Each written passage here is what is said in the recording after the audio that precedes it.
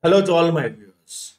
This is Dr. Dhaval Maheta, and today we'll understand how to do data entry in Excel.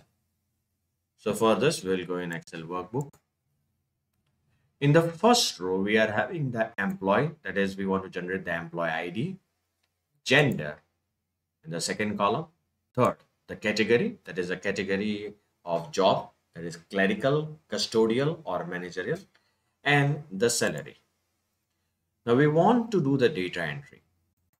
So in normal course, what students do, gender, male, category is custodial, custodial, and the salary is $40,000.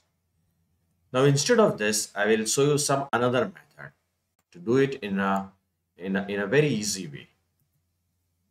Select the first row and activate this magical command alt plus D plus O. Alt D O. Click OK. And a form will appear. Now write down here employee number one, gender male, category custodial, salary $40,000. Press new. Second employee female category managerial salary $70,000 press new. Third you can see gender male category clerical salary 35000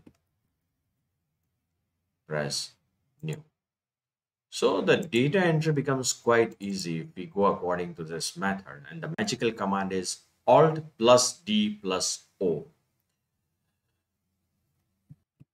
So this is how you can do the data entry in Excel. For more videos on Excel, kindly subscribe to my channel. You can also refer my playlist in which I have uploaded tutorials on data science, machine learning and artificial intelligence. Please don't forget to like and share my videos. You can also follow me on different social medias link given in the description box